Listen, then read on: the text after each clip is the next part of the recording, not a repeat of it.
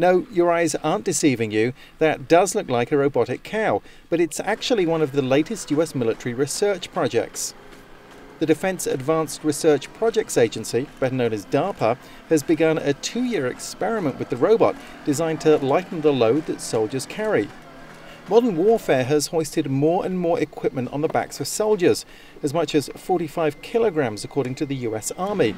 So the high tech robot has been developed to help with the technology induced problem of fatigue.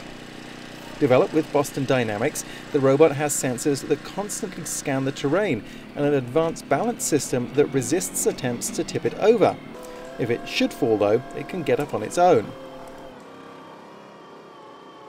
To demonstrate the Legged Squad Support System program, also called LS3, the robot was recently shown to the head of DARPA and the Commandant of the US Marine Corps.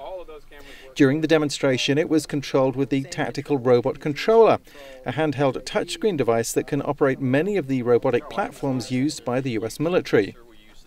The demonstration is just the beginning.